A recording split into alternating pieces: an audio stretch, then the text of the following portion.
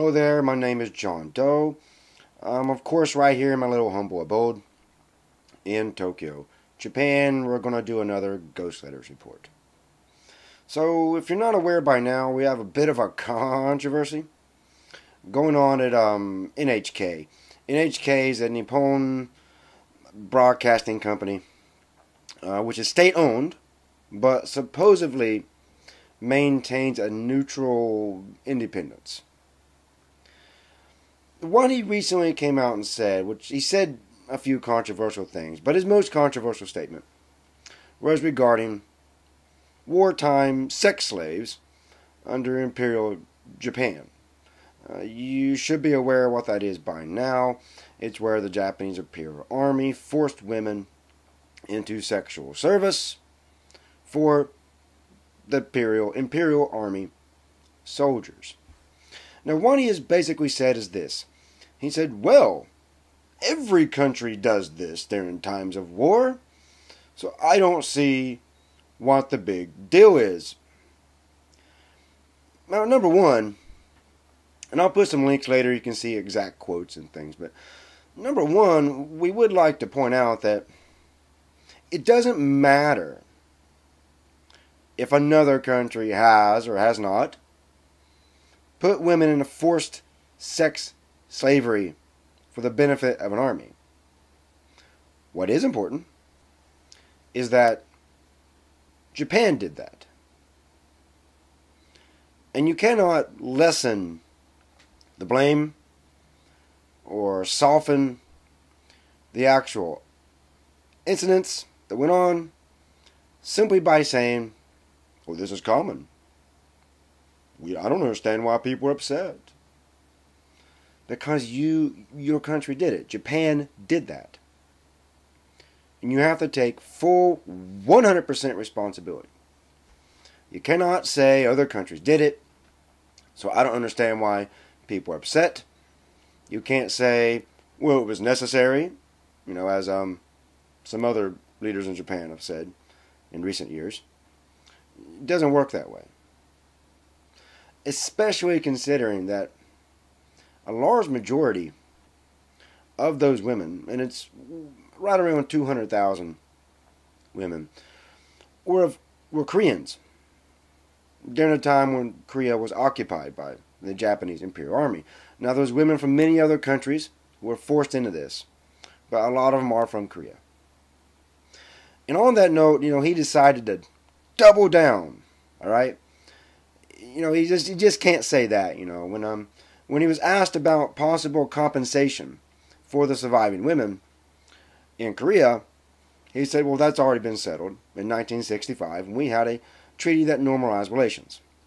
The reason that these women are asking for that is because Japan gave that money to the Korean government, excuse me, South Korean government, and the South Korean government was so corrupt at the time that, and it was under a military strongman rule rule at the time.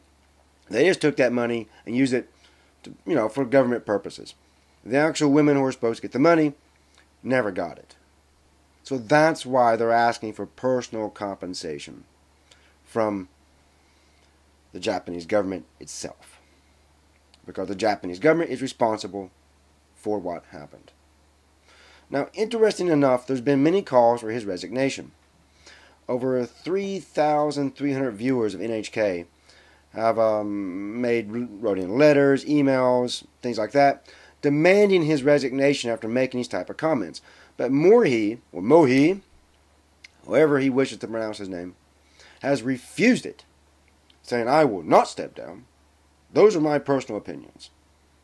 But he has kind of tried to apologize and backtrack here a bit by saying it was extremely inappropriate and you know, I don't know the rules and I'm new about what to say and when and where I can say things and all this. That's typical in Japanese politics when someone gets busted or someone says something crazy. They say, oh, well, you know, I'm ignorant. I'm stupid. I'm an idiot. You know, forgive me. Hey, I don't know what I'm doing here. If you don't know what you're doing and you are you don't know the rules and you don't know how to go about things, then why are you in that position? Now, you know we have to have a process for appointing these type of guys to NHK, but it's well known that um, this guy was Shinzo Abe's personal preference. He wanted this guy.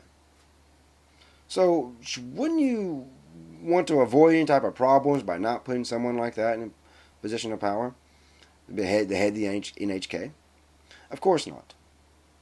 Because if this man is someone that Shinzo Abe personally wanted, well, then Shinzo Abe knows this man's opinions and knows this man is not very good at shutting up, at least.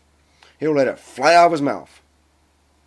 And so far, Shinzo Abe has not spoke a word on this opinions, and a lot of his cabinet members are distancing, distancing themselves from him. It's kind of like a litmus test, I guess. Put this really crazy guy in power. Let him say what he wants. Let's see the reaction. If we can get away with that, well, hey, maybe some of us can be more uh, forceful in, in, our opinions. So it will remain to be seen if he actually get forced to resign or not.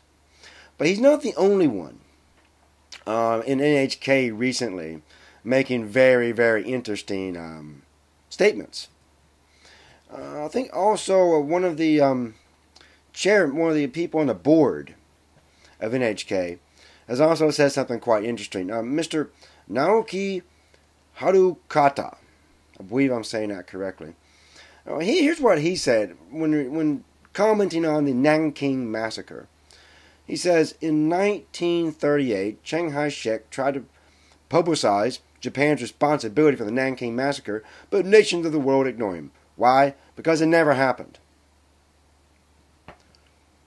Wow. Now, it's totally incorrect. When it started to come out that what was going on, the world did know about it. Many nations knew about it. But at the time, the whole world was gripped in world war. So it got out, and a lot of people knew what was going on. But the whole world was preoccupied trying not to be completely destroyed. So he's completely wrong about that. Of course, the Nanking Massacre happened. You know, it's over 300,000 people were raped, murdered, and slaughtered during that period. So we have this ridiculousness going on in HK recently.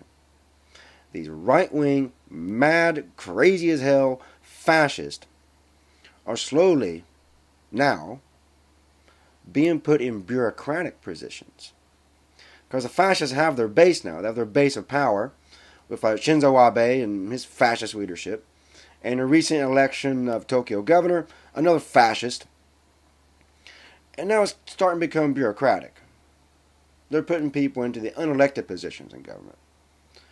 So I expect things like this to continue. You're going to see more people in the Japanese government put into positions of power and going to come out and say things like this. So that's what we have going on in HK. Crazy right wing fascists saying crazy right wing fascist lies. So if you enjoyed this video, I do hope you will subscribe. You'll get lots of stuff like this, plus a few little surprises from time to time. And until next time, this is me, John Dole, in Tokyo. Check it out.